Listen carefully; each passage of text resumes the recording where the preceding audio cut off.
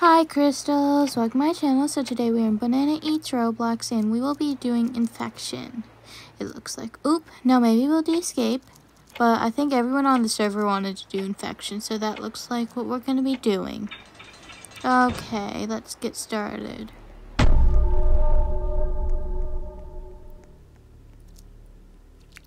Yep, so let's go look for codes, puzzles, and cake.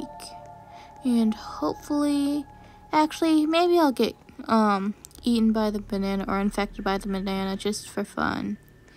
Because then I can go after some players, even though then, um, yeah, you're slow. So there was the code. It was like something, something, something.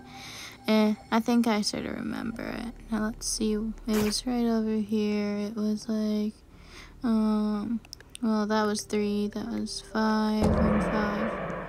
Oop, that banana's chasing us, so Eh, let's grab this cake. I don't think we're gonna make it, but that's okay.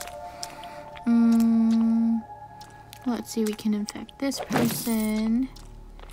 And who? This is one of the maps that I actually haven't memorized. This and the new sandcastle one. But I really like it because um, it's like a little more challenging. Uh-huh, I saw that person's beacon. No.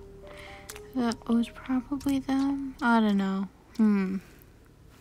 When a puzzle goes off, people are most likely to um, hide in the nearest locker, making the banana think that they ran away, and then you're really far away. I really want to use a peel, I really want to use a peel, but the game won't let me. Okay, let's see, where's some other people? Hmm. Some coins.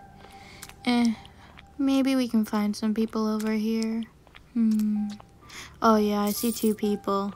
When you're in a locker, um, you should try to crouch so the bananas will um, have a harder time finding you, even though you can sort of tell when there's a player in the locker because it just looks different. So thank you for watching. Um, remember to give it a thumbs up and subscribe. See you next time. Bye.